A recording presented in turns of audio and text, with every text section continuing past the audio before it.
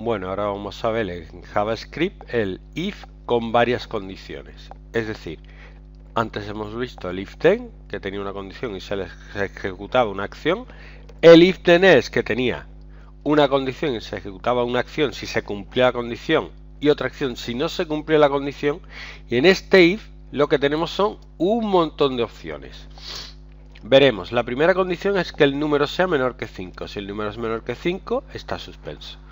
Ahora lo que voy poniendo es las distintas condiciones que se tienen que cumplir con else if. Si no es menor que 5, en otro caso, si es 5, te pone que son suficientes, son números enteros.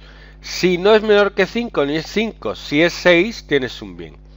Ahora, si esta condición es múltiple, esto significa o si el número es un 7 o un 8, tienes un notable. Y en otro caso, ¿vale? Que sería un 9 o un 10, tienes un sobresaliente. Lo malo es que si yo introdujera un 11 también me podría tener un sobresaliente. Y si tuviera un menos 1 también. Pero bueno, eso lo arreglaremos en el siguiente. El caso es que vemos distintas condiciones en el mismo if. Y si no se cumple la primera, se busca la segunda. Y si no la tercera, y si no la cuarta, y si no así hasta el final. Y si no se cumple ninguna de estas, se le pone el else. ¿Vale?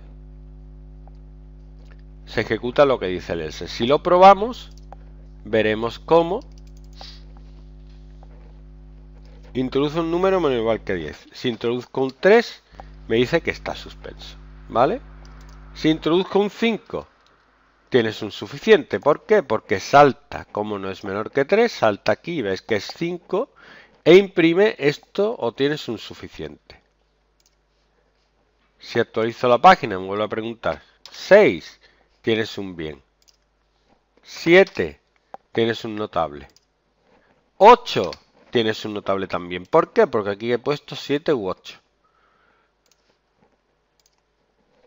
9, tienes un sobresaliente. 10, tienes un sobresaliente. Y 11, pues debería hacer algo y cambiarlo. Pero por ahora no lo voy a hacer. En la siguiente eh, forma de condición vamos a ver cómo se tratan esos casos.